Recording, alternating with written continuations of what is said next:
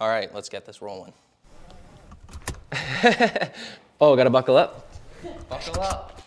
Oh, buckle up. Oh yeah. Okay. There we go. Let's go. Ladies and gentlemen, I'm joined by the man who recently played at the NHL All-Star Game, first certified gold single, toured with Tyler Hubbard, played a live session with Riley Green, got a puppy, got engaged. What haven't you done this year, man? Done a lot, man. That's overwhelming just thinking about all that stuff. But yeah, happy to be here. Thanks for having me. Anytime, man. You were going on the Buckle Up Tour, presented by Bud Light Canada and powered by Live Nation Canada. Yep. The tour starts May 6th in Fort McMurray, Alberta. Yep. Then you're coming all the way back for 19 days to your hometown of Mildmay, Ontario. That's right. Tell me a little bit about the tour.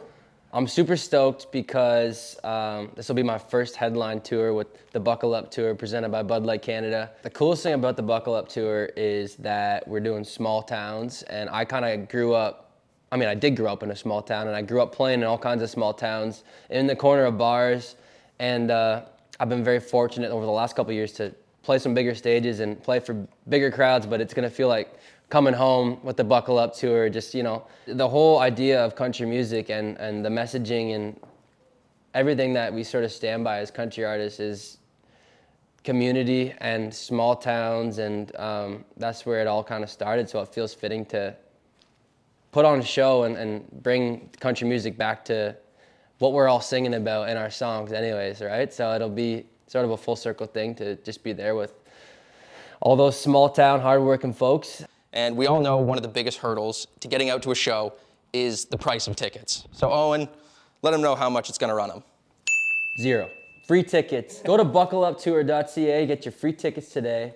Reserve your spot, show up. It's gonna be a lot of fun. Hang out. We'll see you there. Small towns. I'll be in my element in the corner of some some bars, and uh, it's gonna be a lot of fun. The guys and I are very excited. So free tickets, get them now.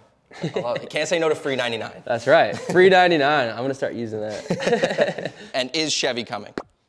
He's not. No, he's uh he's he's gonna stay with my parents for a week, and then we're we're shipping him off to our friend who's a dog trainer. She's gonna train him, and hopefully he'll be ready for the bus next time for sure. Perfect. 'Cause, Yeah. must playing with Riley Green. His dog's always dialed. Yeah. I I uh, I love that stuff. It's so good. Speaking of small town, Yeah. we're both from small town, and I feel like Stats Canada's traffic comes from strictly me. When someone says they're from a small town, I'm like, are you really? And I pull it Yeah. up. Mildmay, Ontario, 2016 population, 1,219. yep. 2021 population, 1,222. So you gained three people three people in five last- years, Oh wow. which That's in great. in Old Dirt Roads you did say it's it's a town that most people just drive through, except for one family. Yeah. They stuck around.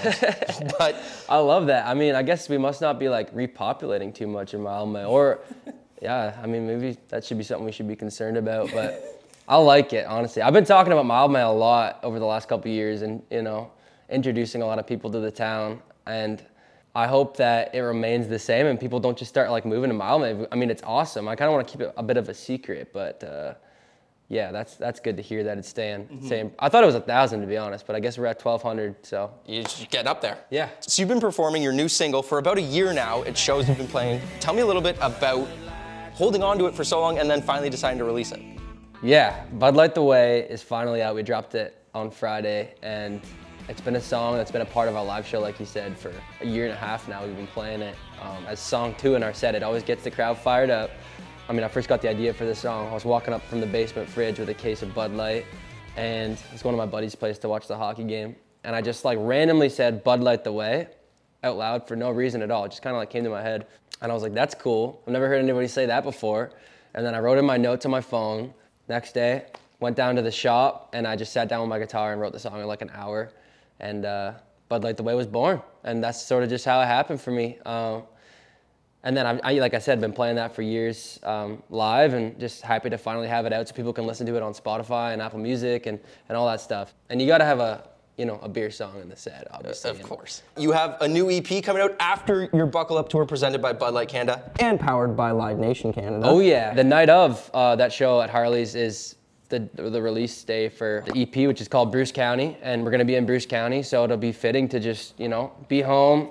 EP comes out.